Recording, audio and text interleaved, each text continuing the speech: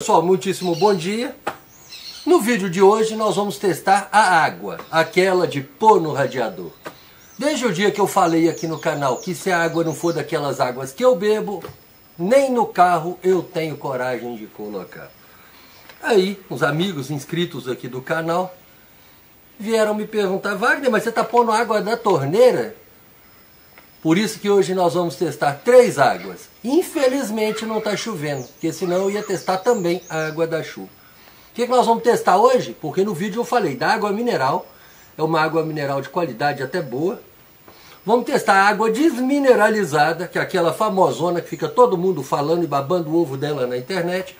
E eu vou testar a água da minha casa. Só para vocês entenderem, esse radiador aí que está do lado, ele rodou mais de 300 mil quilômetros até o carro da gente ganhar de presente um radiador novo, customizado da Abaré Radiadores. Aí aposentei esse, fiz uma reforma, todos os vídeos vou pôr nos cards no final para vocês. Esse radiador está em perfeito estado, dá para atender até um carro de um amigo. Por que, que a gente está fazendo esse vídeo e, e vamos testar? Para que não fique nenhuma dúvida e você escolha para você o que é melhor nós vamos usar nesse teste esse aparelho, é um aparelho TDS, é total de sólidos dissolvidos na água, na água desmineralizada. Eu espero não encontrar nada aqui dentro, porque ela é uma água desmineralizada, é livre de qualquer mineral, tanto cloro quanto calcário, que são os principais causadores de vários problemas nos carros.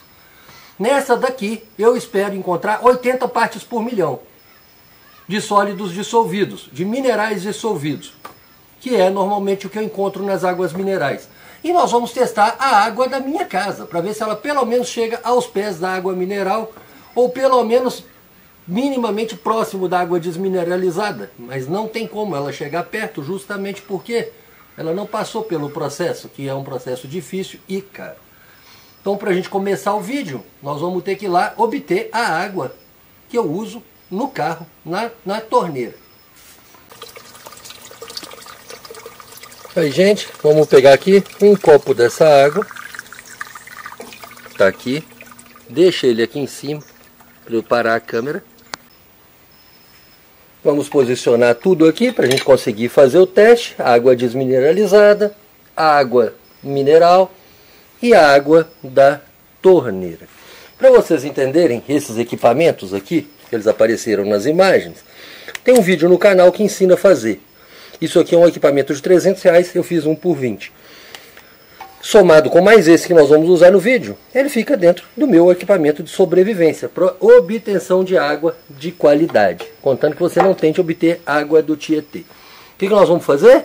Vamos testar. Eu espero encontrar aqui entre 30 e 60 partes por milhão na água da torneira. Na água da torneira da minha casa. Não quer dizer que a água da torneira da sua casa seja igual.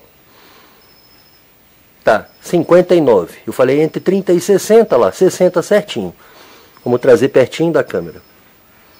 Não sei se vai dar para ler que o reflexo, mas eu já li para vocês. 59, 60. Agora vamos fazer aqui esse teste aqui com água mineral.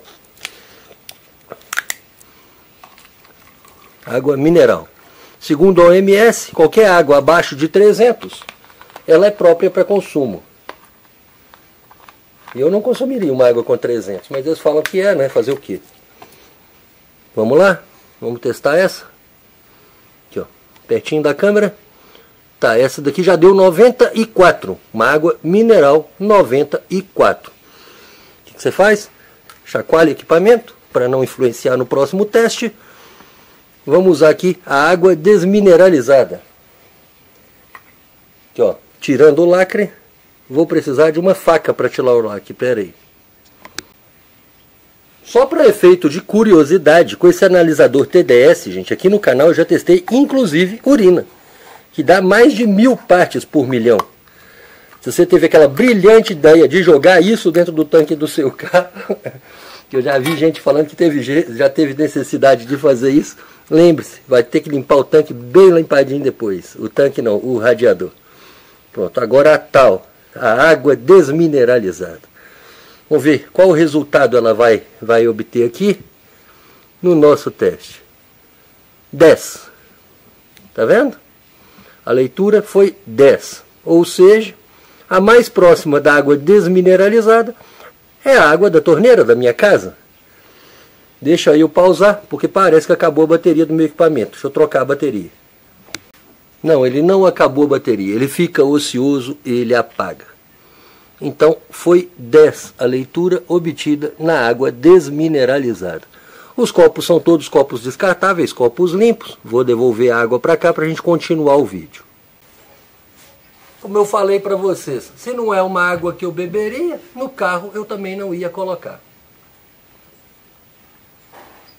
A de 94 e agora a de 60.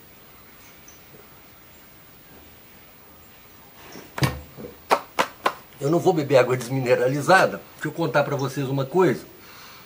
Esse aparelho ele é bem, bem bacana, você pode aplicar ele em várias situações da sua vida. Igual eu falei para vocês, a gente aplica ele na obtenção de água de qualidade para sobrevivência, junto com outros equipamentos. E aplico ele também no, no momento de colocar uma água no radiador do carro. Um aparelho desse, ele é muito barato. Por conta, e pelo tanto de benefícios que ele traz, compensa você ter um tá? O que que acontece? Água mineral. Eu não uso, tá? Eu não uso água mineral. Eu uso realmente água de chuva no radiador ou a água que vocês viram. Que se eu deixo aquela água saindo ali mais tempo, ela vai limpando.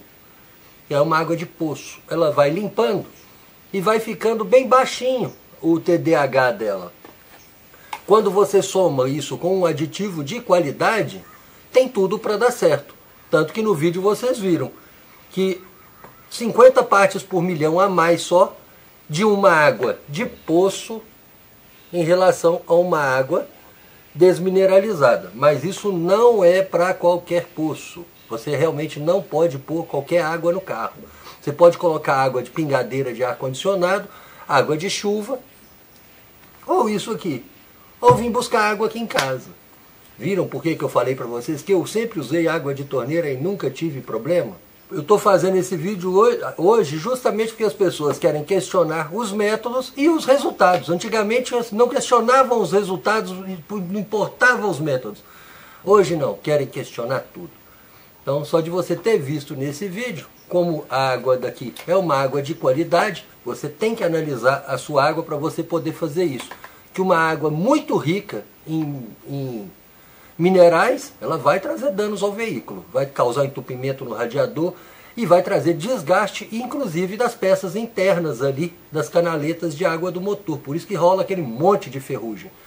Somando uma água de qualidade junto com um fluido de arrefecimento, bom, não pode ser aquele fluido à base de água, aquela porcaria baratinha demais que você vai só se aborrecer.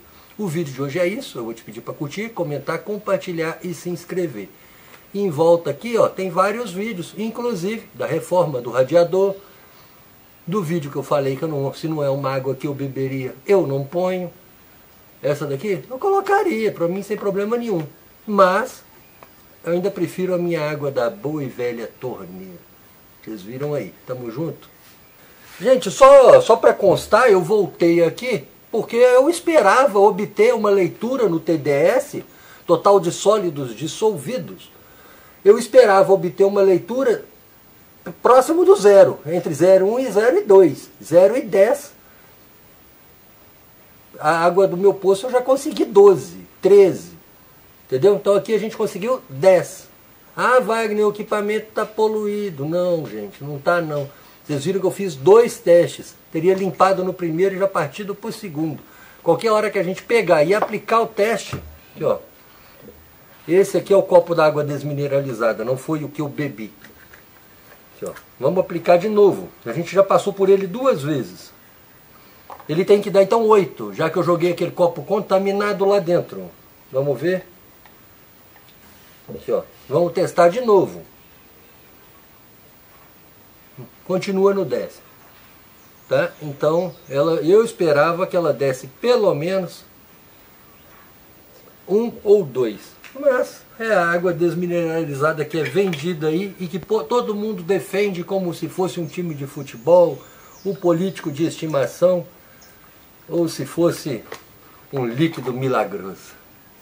E se você é que nem eu e gosta de dar manutenção correta no seu veículo Mitsubishi com motor 4D5, 4D56, eu vou te convidar aí lá na descrição desse vídeo, lá você vai encontrar o nosso grupo de WhatsApp, onde você clica e vai para o grupo destinado.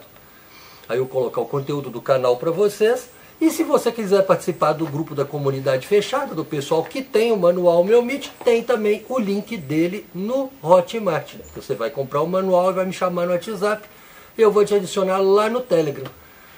No grupo exclusivo para quem tem o manual Meu Meet, tirar dúvidas, conversar entre si. E eu também sempre estou lá, na medida do possível, ajudando tudo, todos que eu posso. E é isso. Tamo junto.